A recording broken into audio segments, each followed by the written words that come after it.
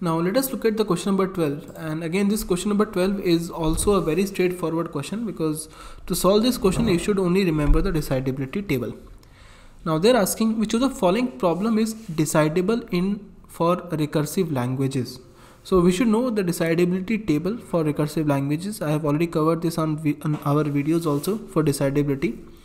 We have recursive as well as recursively enumerable. Assume this is representing the recursive language and this is representing the recursively enumerable languages.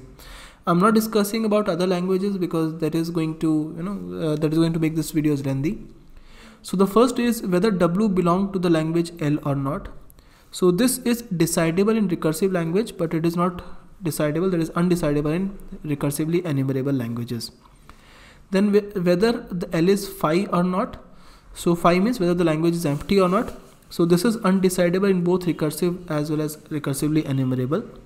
Third is whether L is equal to summation star or not. So this is also undecidable in both recursive as well as recursively enumerable. Then whether L1 is a subset of L2, whether a one language is a subset of another language, that is also undecidable.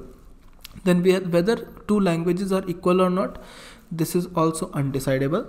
And whether L1 intersection L2 is phi that is also undecidable.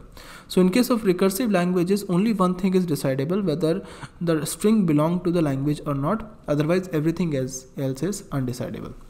They're asking which of the following is decidable for recursive languages.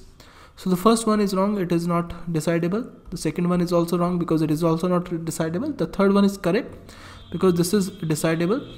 And the fourth one is also wrong.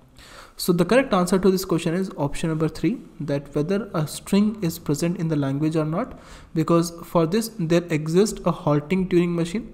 That is why the language is recursively enumerable recursive language. It is not recursively enumerable.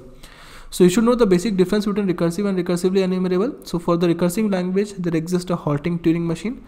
And for recursively enumerable language there exists a Turing machine whether it is halting or not doesn't matter but there exists a Turing machine. So correct answer to this question is option number 3